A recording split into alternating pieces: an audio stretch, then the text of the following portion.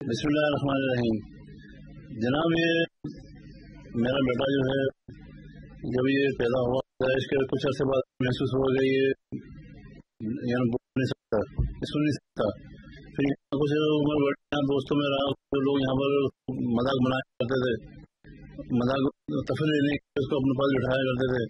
اور تفریح اس سے جو مذاق کیا کرتا تھا، میں پریشان رہتا تھا کافی میں جب دیکھتا تھا، تو میں دل کو بڑا تکلیف ہوتی تھی بہت درد ہوتا تھا میں تو پھر یہ کچھ ہوا اس کے ساتھ تو دوستوں نے وہ کچھ ملے اس کو ہوٹلوں پر بیٹھا کرتے تھے، ہوٹلوں میں بیٹھتے انہوں نے فلم وغیرہ دیکھنا شروع کر دی۔ اچھا ہر قسم کی فلمیں جو ہے کسی ہوٹلوں میں کھڑا کرتی ہیں۔ تو وہاں پر دیکھا کرتے تھے، تو دیکھ کے بڑا پریشانی مجھے کہ کیا ہوگا اس کا۔ تو ہمارے علاقے میں دعوت اسلامی کا ہمارے وہ ہے، ہمارے رشتے دار بھی ہیں۔ تو ان سے لے کر کے میں نے کہا بھائی یہ ایسا مسئلہ آپ کے کوئی ہے ماحول آپ کے یہاں؟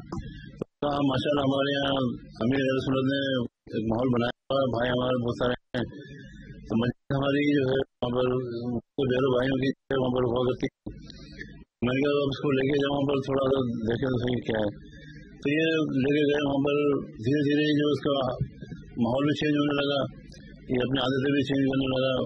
اس کے بعد وہ اپنے چہروں میں ماشاء اللہ سے داڑھی مبارک بھی رکھ لی اس نے اور نماز وغیرہ کی ترکیب بھی بنا لی اس نے ہر وقت یہ پانچ وقت کی نماز پڑھا کرنے لگا تو مجھے میرے دل کو بڑی تسلی ہوئی کچھ عرصے بعد یہ ماحول سے اتنا وابستہ ہو گیا کہ اپنے کافروں میں بھی جانے لگا اور پورے مہینے مہینے کا احتراب میں بھی بیٹھا اور گونگے میرے بھائیوں کا ویسے بھی احتراب میں بیٹھنا بڑی بات ہے کہ ان کا اشارہ سمجھنا ان کا ماشاء اللہ سے انہوں نے بڑا تعاون کیا اور اللہ تعالیٰ نے ان کو بس اس کا اجر دینے والی طرف کی ذات ہے کہ میرے بچے کو دیکھو، کہ اللہ تعالیٰ نے کہاں تھا، کہاں سے ابھی اپنی ایسی ترکیب میں آ گیا کہ پانچ وقت نمازی بھی ہو گیا اور قافلوں میں جایا کرتا ہے اور بہت یعنی اللہ کا بہت کرم ہو گیا، بہت ماشاء اللہ سے الحمد للہ اللہ جن کے ساتھ یہ فلمیں وغیرہ دیکھا کرتا تھا، آج انہیں کو اپنے ساتھ مدنی ماحول میں لے کے جاتا ہے۔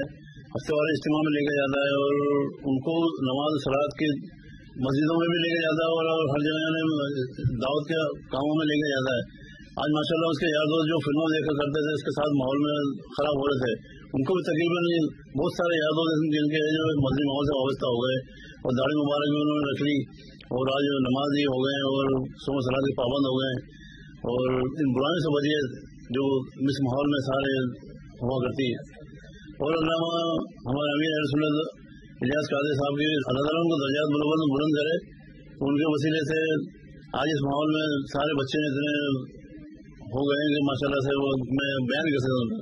سمجھ رہا پابند ہو گئے میں میرے منہ زبان ایسی نہیں ہے کہ میں کچھ بیان کر سکوں۔ جو کام امیر سنت ہمارے کر رہے ہیں، اللہ تعالیٰ ان کو اتنا حاضر دے کہ میں اس میں اس کو کچھ بیان کر سکتا۔ انہوں نے اتنا بڑا ہم پر کرم کیا ہے، اتنا بڑا کرم کیا ہے کہ میں میرے پاس الفاظ یہ کہ میں اس کو وعدہ کر سکوں